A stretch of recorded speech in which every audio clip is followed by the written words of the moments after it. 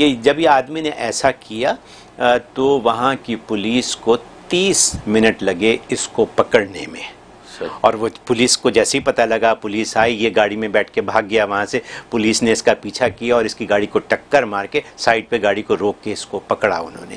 اور جب اس کو پکڑا گاڑی کو تو اس کے پاس سے آٹومیٹک ریوالور یا وہ جو جو بھی بندوقیں ملیں دو بے تحاشا اسلحہ تھا اس کی گاڑی میں یعنی اب اس کے ارادے اور خطرناک تھے۔ تو تو یہ ان کی یہ ان کی بڑی ایک تیزی ہے ان کی پولیس تو تیز ہے یہاں کی اس میں تو کوئی شک بکیا ویڈیو دیکھنے سے پہلے ویڈیو کو لائک کریں رحم ٹی وی چینل کو سبسکرائب کریں اور بیل آئیکن پر کلک کریں شکریہ یہی میں نے عرض کیا کہ جی۔ پولیس جو ہے اس میں شک نہیں کہ پولیس جو ہے وہ تو اپنے وقت پہ ٹارگٹ پہ پہنچ جاتی۔ ہے لیکن ٹو لیٹ اب یہ فورٹی نائن لوگ تو شہید ہو گئے نا اب پولیس نے اس کو پکڑا۔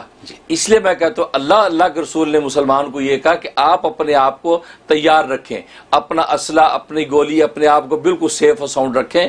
پھر اللہ تبارک و تعالی کیونکہ موت تو لکھ دی اللہ نے کسی نے شہید ہونا ہے لیکن ایسا بھی کیا شہید ہونا کہ کمر پہ گولی کھا کے شہید ہوں؟ جی، ہیں؟ اور وہ آپ وہ دیکھ رہے ہیں کہ جس طریقے سے وہ مار رہا ہے۔ بلکہ پہلی نظر میں تو ایسا لگتا ہے شاید یہ گیم چل رہی ہے۔ یعنی جس انداز سے وہ آ رہا ہے، جیسے گیم چل رہی ہے۔ کیونکہ گیم کے اندر جیسے بچے کھیلتے ہیں یعنی وہی حرکت ظالم نے یہاں پر یہ کی اور اس نے یہاں اس طریقے سے مارا۔